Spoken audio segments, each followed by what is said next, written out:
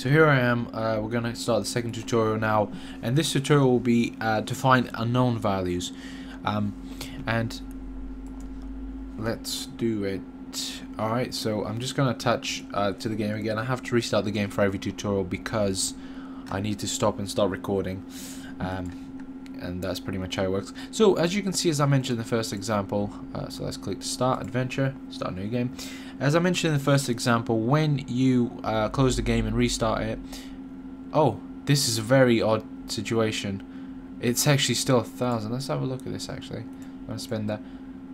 Uh, see, yeah, so it is a thousand as you see here, but um, it's not the same. It's not the same thing anymore.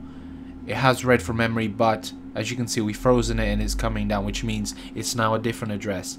So, which is why we'll later on find the static address, which is the one that never changes. Um, so anyways, so what we're going to do in this tutorial, we're going to find an unknown value. Uh, so you don't always have numbers like this, that's the problem. You don't always have numbers like this in the game. Sometimes you have things like, as you can see here, there's a cooldown timer, as you as you can see is going up and that's what we'll be using for this one. So this includes things like mana in games uh, if you're playing like something like Diablo. Um, also if you're playing Modern Warfare if you guys know uh, for example when you get shot your health goes red but you have absolutely no clue what your health is.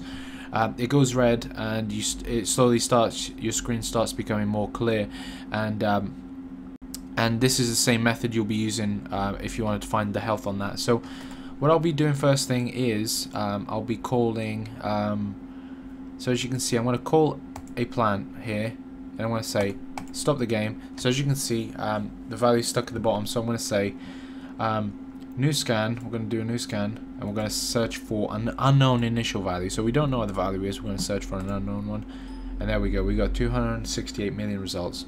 And what we do is go back into the game, let it go up a little bit, and then we say increased value. So if some of you guys prefer to use hotkeys for this, for this is better. Go on File. Um, you got the settings option where you can uh, use hotkeys instead of having to keep jumping back from the game to this. So I'm going to choose increased value because it's gone up a tiny bit, and let's see it filtering. Um, now, something I like to do here is I like to say unchanged value for quite a while because the value hasn't changed. That filters quite a few of them. So as you can see, we almost removed a million. So that one was just a bunch of crap. So let's go back into game, let it go up a little bit more, and search for increased value again. And here we are. So let's go again and search again. So it's gone up again a bit. There you go, 100,000. I'm just going to start putting some people here just because... Um, and it's going up a little bit. I'm just putting a couple of guys around so I don't get killed. Uh, but don't worry about those. Just focus on the sunflower for now. Uh, and as it goes up, let's search again for increased value, 3000. And once again up. And then we get to the top. So we then call another one and we're back down. So we then look for decreased value. And this is the same method you'll be using uh, if you wanted to find the health on that. So what I'll be doing first thing is um, I'll be calling, um, so as you can see, I'm going to call a plant here and I'm going to say stop the game. So as you can see, um, the value is stuck at the bottom. So I'm going to say um, new scan, we're going to do a new scan, and we're going to search for an unknown initial value. So we don't know what the value is, we're going to search for an unknown one. And there we go, we got 268 million results. And what we do is go back into the game, let it go up a little bit, and then we say increased value. So if some of you guys prefer to use hotkeys for this, for this is better, go on File, um, you got the settings option where you can uh, use hotkeys instead of having to keep jumping back from the game to this. So I'm going to choose increase value because it's gone up a tiny bit and let's see it filtering. Um, now something I like to do here is I like to say unchanged value for quite a while because the value hasn't changed. That filters quite a few of them. So as you can see we almost removed a million. So that removes just a bunch of crap. So let's go back into game, let it go up a little bit more and search for increased value again. And here we are. So let's go again and search again. So it's gone up again a bit. There you go, 100,000. I'm just going to start putting some people here just because... Um, and it's gone up a little bit. I'm just putting a couple of guys around so I don't get killed. Uh, but don't worry about those. Just focus on the sunflower for now. Uh, and as it goes up, let's search again for increased value, 3,000. And once again up. And then we get to the top. So we then call another one and we back down. So we then look for decreased value. Okay so there's our decreased value okay? And then we want to set it up for increased value again. So go back into the game. It's increased a little bit. Let's search again. We're down to 59 results. We're nearly there. Increased again. 24 results. I definitely haven't got much to go. And next scan and obviously as you do this more and more you'll get more experience of it. So by having a first look at this some of you more experienced guys will know straight away that this is most likely the number that we're looking for the cooldown timer. So as you can see go again. Uh, mainly because it's a more feasible number. It would be either this one or this one in my opinion but I definitely recommend it would be this one. Uh, especially because I've done this before and I know it is this one. I think so anyway. I haven't done this in a little while. Anyways so what we're going to do, just to confirm, we're going to double click that, add that to the list, and let's freeze it, and just see where it... As you can see, the value is now frozen, the cooldown is not going to increase.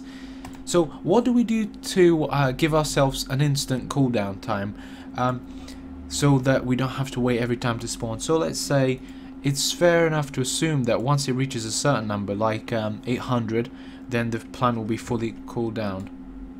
And there you go, so that's that.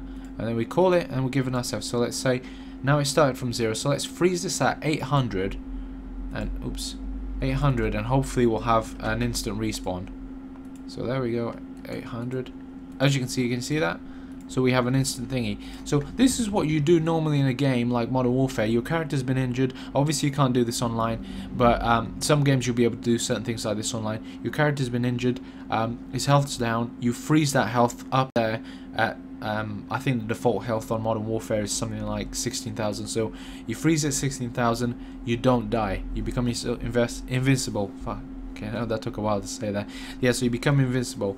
Um, and th this is how a lot of people make a God mode hack for their trainers and so on. You can do this in Black Ops, Zombies, and so on. I was doing this the other day as well myself. So, and that's pretty much it. Um, and you can do this for any of these cooldowns if you're interested in doing it for Plants vs Zombies. It's up to you. So now that is pretty much it for our um, unknown value uh, tutorial. Uh, hope you now realize how to do just have a think about where you can implement this because there's a lot of things you can do with this. And that includes rapid fire anything like that. All you do is you freeze a number at a high as value or a very low value and then you give yourself an instant thing. So as you can see I can make an army of sunflowers that do absolutely nothing. As you can see that no respawn whatsoever and that's the beauty of it and that's it pretty much. Uh, let's now get on with the, um, our next tutorial will be the finding multi-level pointers manually. Uh, I uh, hope you enjoy that one. So that one especially for those of you that aren't really that comfortable with pointers. Uh, and after that we'll do another pointers one. And we'll move on to more, um, more difficult stuff after that. Okay, thanks for watching and hope you stick around.